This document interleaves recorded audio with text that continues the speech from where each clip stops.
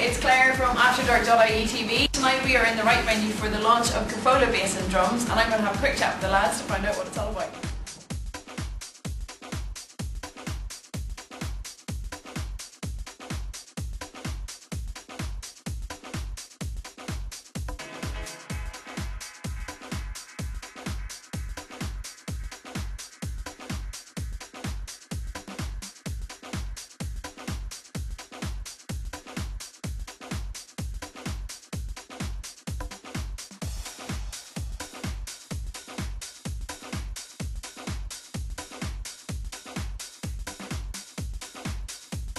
Ryan, explain to me exactly how Cafolla Bass and Drums actually came to be invented. Um, Follow Bass Drums happened, I suppose, uh, myself and Phil, uh, one drunken night, no doubt the best of these, come up when you're drunk. Uh, um, I've been DJing, we all know, to 12 years now, and done all the venues around Ireland, the UK, Spain, everywhere, and you know, did the big gigs, Spirit and all that kind of stuff. And there was always one thing I, I, I always wanted to do was work with, you know, bongos, drums, sax players, violinists, I wanted to do all that. And, uh, got to know Phil quite well over the past couple of years and uh, just, just we just came up with this idea and we started uh, kind of messing about the Grafton Lounge and from there kind of taking uh, grown legs and then Chevin came in on board and we've kind of just grown from there.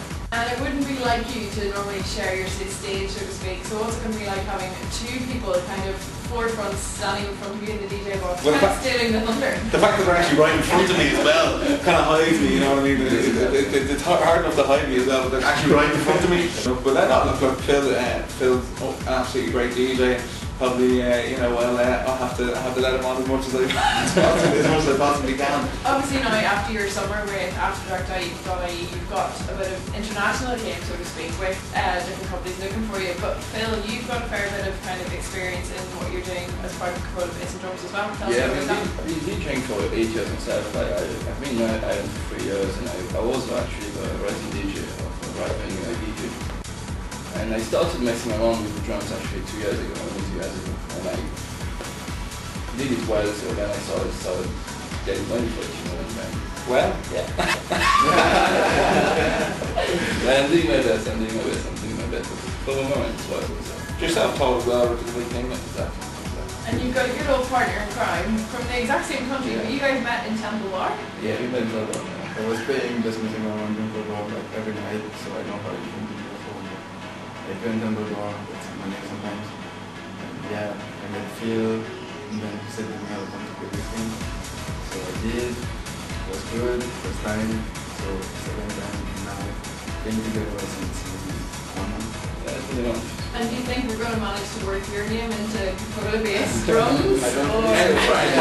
I'm the grand drunk. He's a drunk. Jen's a drunk. drunk. Obviously, the Wright Venue is such a large venue, and you know, packed out every weekend after weekend, that kind of thing as well. It's a different crowd, different side of town, that kind of stuff as well, compared to the usual Grafton Lounge. Are you looking forward to playing to a different crowd, people getting to know kind of a different scene, and that kind of thing as well, or? Well, the, the, the beauty about the Cafolla Bass Drums is it cares that it, it suits small venues like the Grafton Lounge, but like with, with venues like the Wright Venue tonight, it, it's it, it's a club experience. You're it's a much bigger thing. There's a big PA. It's going to sound that much better. The, Grafton Lounge, it, it, it works well in there. It's not a full show. It's not a full Bass Drum show. This is the full show. There's other elements to it which we add into it. Be Bass Drums and Friends. The, and Friends part of it. You know, we're to have saxophone people joining us. vocalists, electric violinists, we're to have it all, like a couple of clubs, we're looking to this straight away. But this is obviously our launch night and we're really, really happy that we're launching in such a big venue like Wright Venue. We also want to thank Wright Venue for booking us and taking it, taking a big leap of faith. They know myself and Phil from DJing, you know, but this, you, you're putting this kind of thing together, like we've been rehearsing for a long time, practicing the Graft Lounge and hours in my house and neighbours love us for it, especially last night. But um, you know, like it, it's it's such a it's such a it's such a big thing to get right. We we've been working on it for a long time. I think it's something that Dublin's missing. Uh, not Dublin, sorry, Ireland, and possibly you know further afield as well. It's unique. It's it's it's gonna it's gonna work. It's gonna work really well. We think.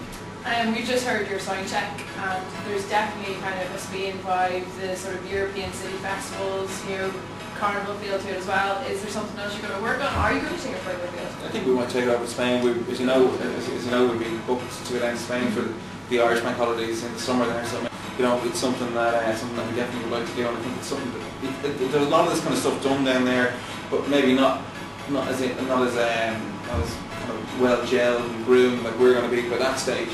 You know, it, it's we've got signature tracks which we're playing tonight. And the guys are doing doing certain things along with certain times of music and timing timing is key with this.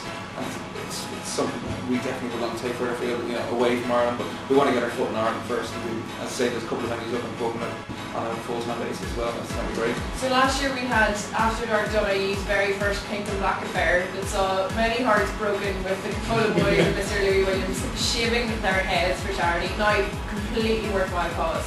And that's happened again this year with the With Cafolla the Bass and Cold Drum Bass Sound. drums, yeah, with Cold Bass drums, we're, we're doing it uh, in uh, doing it in a venue to be confirmed.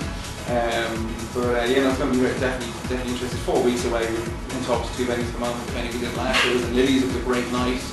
Um, it was, uh, it was fantastic. Apart from me having to shave my head off. I don't know if I'm going to shave Devin's head was gonna off. say, I was like, No, I mean, no. Sonic the Hedgehog over here is going to be losing Just his let's legs. shave, shave my hair, so I don't think. Yeah, we need to shave your head again now. Uh, but no, it's definitely look, it's an event that we're that we're that myself and uh, Pal uh, love doing. Uh, and it's, a, it's a charity to everyone's heart. I mean, we all know someone who's in touch with cancer, and you know, it's it's definitely something that we like to raise funds for. It's, it's something that we want to we want to put a good show on for as well for everyone's going to come to the night. And, um, you know, we'll try and make it bigger and better than last year.